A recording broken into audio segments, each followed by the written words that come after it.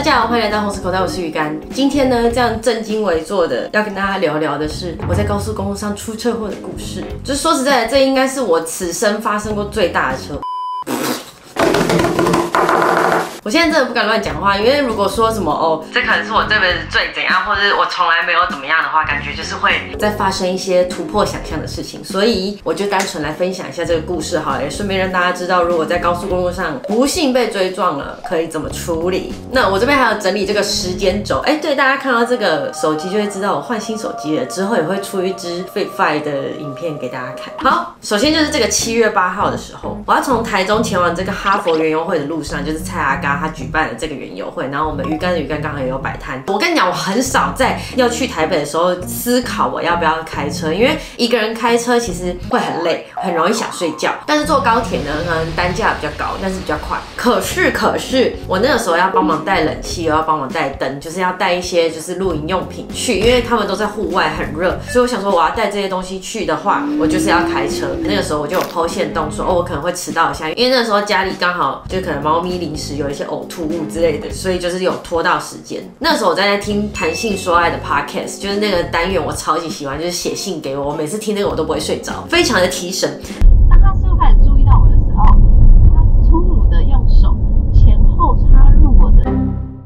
那时候刚好是在聊手枪哥的故事。那我在国一往下转圆山交流道的时候出车祸。说实在，我觉得我是挺无辜的，因为那一段路就是一直走走停停，走走停停，走走停停。那我怎么办？我当然是就跟着走走停停，走走停停，走走停停嘛。但是我前面那台车突然一个超级急刹，就你看到影片，它是一个急刹，然后它也很怕被撞，它有一点希望我可以刹得住。那因为车距有够，所以我有把它刹住。OK，这没问题。那再来就是我来不及马上按双黄灯，我刹住的第一个反应是看后视镜，哦，后面的车其实还蛮远的，所以我没有马上按下双黄灯。但我没想到后面的车就完全的没有在减速，它就啪啪啪砰就撞上了。我有听到他也许有刹车那么一小段，因为他后段一直在按喇叭很大声，他可能也很惊讶说，哦，前面的车怎么突然变那么近？我不知道他是不是没有在看路，但是我觉得就是他就是分心了，所以他就是没有减速。我就觉得啊，好烦哦。就可以看到这个照片，就那个地上的刹车痕其实超短，就表示他其实前面可能没有在注意，所以他就这样直接撞上来了。那如果被追撞呢，立刻马上要做的事情就是立刻停车，拉手刹车，打双黄灯，然后下车，先不要熄火，因为有些车熄火之后，你那个行车记录器就不会动了嘛。我觉得下车的时候，我其实还没有看清楚对方的脸，我就第一个先说你为什么没有减速？对方下车就开始啊，一直拍谁拍谁拍谁，结果没想到下来三个壮汉，他们可能是要修冷气还是干嘛的，就是车子是那种水电工的车。我那时候第一个当下我就说我去报警，我就把手机拿出来，然后我要报警。结果呢，我就边报警啊边走过去问说，你们有没有三角的那个警示牌要去放一下？就他们说哦，我们车上没有。怎么会车上没有？我就把电话挂了，我说那你们赶快报警，然后我去拿。然后我那个车子的车厢明明就已经整个撞烂，我还要从那个撞烂的那个缝把我车厢打开，然后翻出我那个三角警示牌，我就拿着警示牌往后走，因为我估计这些人应该也不知道警示牌到底要放多远。其实你在高速公路上出车祸的话，你的警示牌是要放到一百公尺远的。其实当下没有感觉它有多远，但是你在有车流的时候，你要放那个警示牌超级远，而且因为一直陆续有车子要来，虽然车速都不快，因为刚好是要转交流道嘛，就是来的车都来势汹汹。但是如果你不赶快放，他们又会觉得说，哦，为什么出车祸不赶快放警示牌？所以几乎都对着我按喇叭，我就一个人往前走，我还以为会有一个人跟着我干嘛，帮我疏通之类。结果我走了走了大概一半的时候，三个人还站在原地，可能在报警还是干嘛的。然后因为风很大，所以我那个警示牌一放下去就会被吹倒，然后我就往后面大喊说，拿拿警示牌！我就走大概一百公尺，但是我估计的一百公尺可能跟实际上一百公尺不一样，所以有一些车经过的时候还一直跟我大吼说，哎，再跑远一点。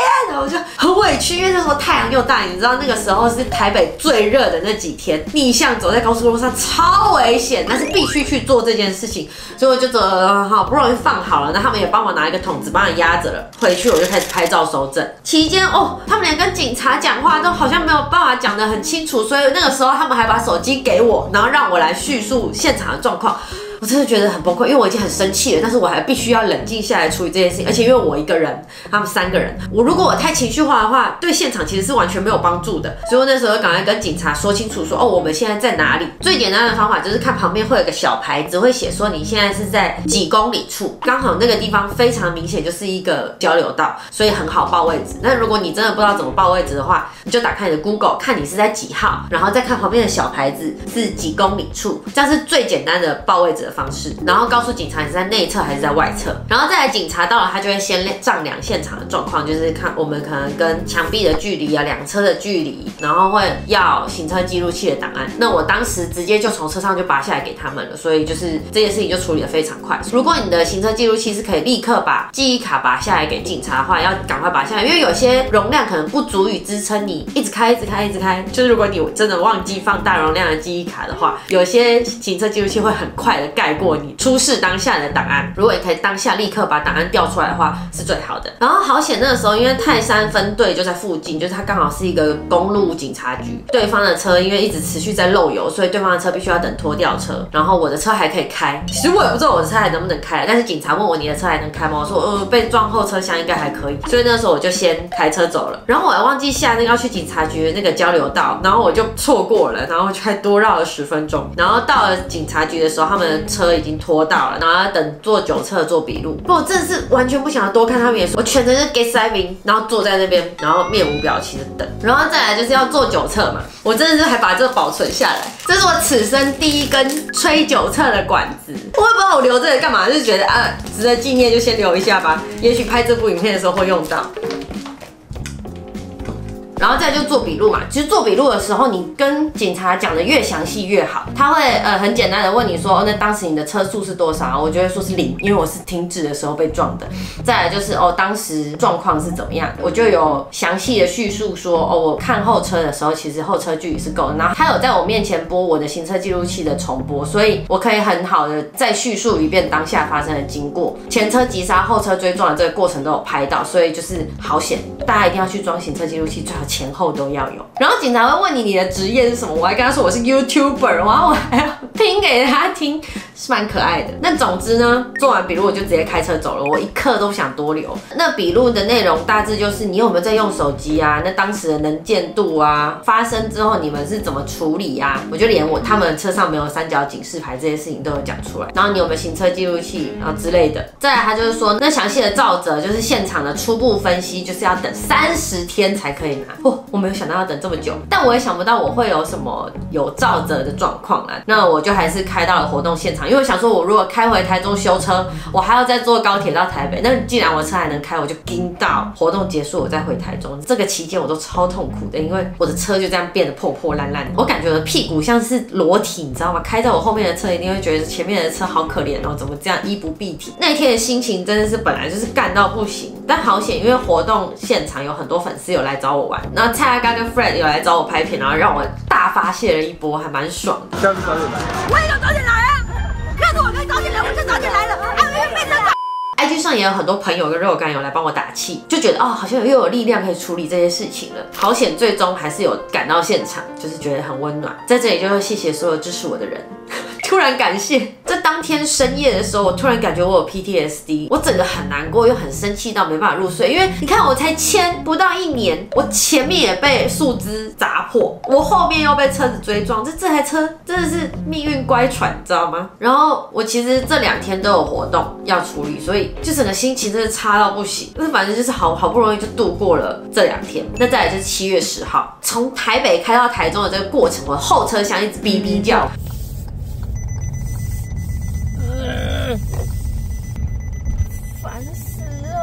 就是因为他一直说我的车厢没有关好，就一直哔哔叫，一直哔哔叫我盖好，但是我就是没有办法把它盖好。然后你看他的那个，看他有一个倒车显影什么，全部都歪七扭八的，我也觉得好痛苦，然后又很生气，基本上就是处于一个超级负能量的状态，开了两个小时的车回家。回到车厂呢，就是开始盖那个保险的文件。我跟你讲，一次险一定要保，有开车的人一定要保险，不管对方怎么样，自己有保险是最重要的。然后再来就是要等那个保险专员来现场评估状况，这个过程中呢。那就是把车子会放在车场，他们会先修车，因为他们知道你有保险嘛，再加上他们看那个行车记录器，知道你是没有照责的，他们就会先判定是对方全责，所以就会先帮你修车。再来就是保险专员会来估说大概要花多少钱，再来就会跟对方索赔。那我那时候哦，已经心情已经沉重到不行了，因为我车要拿去修，然后接下来就是个断脚的状况，因为很多要去的地方都没办法开车去，然后就哦很痛苦的走到旁边的针线开始吃寿司。这个时候接到了对方的电话，我本来就是一个超级不喜欢讲电话的人，他还给我打电话过来，然后他就问我说，啊，你那个车子要怎么处理啊？我想问一下，这样子当然是啊要修车吗？什么什么？哦，我真的是一点都不想要跟对方讲，我就直接回他说，因为我有保险，所以后续保险的人会跟你联络，就这样子挂了。我真的是快气死我！我本来吃寿司味道就已经很淡了，吃东西食之无味。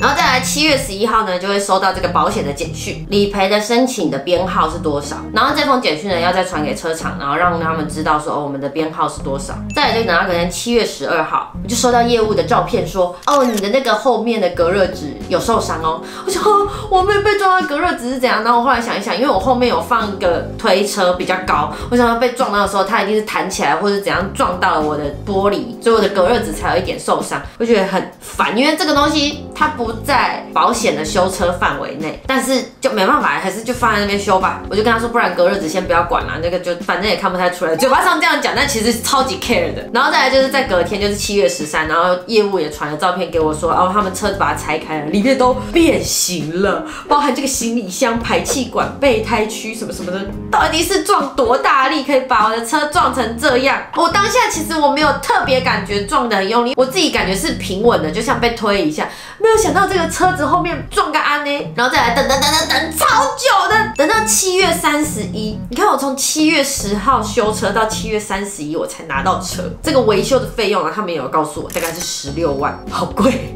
修车好贵，好险有保险，是不是？保险真的超级重要，而且如果今天是我前一台老车的话，我真的是直接就不要了耶。业务那边人很好，是他连那个隔热纸都帮我修好了，非常的感谢。但是车子修好了，隔热纸换好了，看起来焕然一新了，却有一个我看不下去的东西一直在我的车上，就是我的车牌。车牌是不能换新，也没办法维修的哦。这算冷知识吗？那我就先跟大家讲，车牌其实是没有办法换新的，就是没有一个官方的手段可以换新。如果你想要让你的车牌焕然一新的话，你只能去换号，就你只能去重新申请这个号码。那这个有包含在保险的理赔里面，但是我不想要换号码，我好不容易把这个号码记起来，而且你知道有很多东西是要输入你的停车号码，包含你的社区啊，包含你的医 tag 啊，什么什么都是要绑你的车牌号码，我就很不想要换号码，最终我就只能忍。然后那个东西在灯照下看起来就是破破烂烂的，我的车牌看起来超级可怜。OK，过了三十天，七月八号到八月八号嘛，我想说那个事故初步分析表应该已经好了，因为三十天了嘛。结果警察局说要再等一个礼拜哦，后来才听说哦，可能要三十五天左右。那这个时候大家可以来猜猜看，我到底有没有照责呢？我就乖乖的等了一个礼拜，然后再打电话过去，他说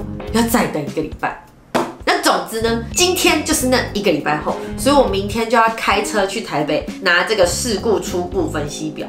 这也是我觉得很干的一点，就是在哪里报案，我就要回哪里拿这个事故初步分析表。因为没有人受伤、没有人死亡的情况下，没有办法线上申请，所以只能自己去到那个地方拿这个表。重点是这个是一个公路警察局，就是要自己开车去拿，觉得啊好麻烦。但明天终于可以为这件事情稍微画下一个句点了。我现在就是要去拿这个东西。叫做道路交通事故初步分析研判表，每一次念这个东西都会念错。我们大概已经过了四十天有了吧，才来拿。就是他前两个礼拜打一直都没有，然后现在就是要开到这个高速公路旁边的这个泰山分队去领这个，来看看我们的最终的造责如何。好的，我刚刚拿到了这个道路交通事故初步分析研判表，然后我们可以看到它就是一张长这样的表。对方的车子的造则是叮，为保持行车安全距离。那我呢？哎，没有造则，就是这样啦。大家都有猜对吗？应该没有人会觉得是我的问题吧？对，总之就是就是这样，所以应该是没有问题了。这件事情终于画下一个句点啦。那希望对方以后开车可以安全一点。然后这一样，我有跟他们申请现场的这个测量的图跟现场的照片呢，其实是七天之后就可以申请了。因为有些人他保险比较急，所以他可能七天之后就会申请。但是因为当时我拍了超多张照片，所以那个时候保险是用我的照片。这张纸就是要三十天之后才可以拿得到，但严格上来说，我觉得要等四十天。好了，就是这样，回去喽。好，那总之这就是我出车祸的始末啦。那希望可以对大家有一些帮助，也希望可以娱乐到大家。总之我的车牌呢是拿去钣金了一下，因为其实这个好像是在法律上一个有点小模糊的地方，因为车牌其实是不能涂改的。但是因为我没有涂改，我只是把它稍微的打好一点，因为原本车厂有帮我稍微打平，但是我就又再送去再打得更好一点，所以我的车牌现在看起来是好的了。那整台车呢看起来。也是舒服的。那我会继续小心开车，希望大家都可以在路上保持清醒，注意路况，然后注意安全。如果你喜欢我的影片，请记得按个喜欢，小继续看可以按订阅哦。那我们就下次再见啦，拜拜！也跟大家说拜拜。我出车祸很可怜。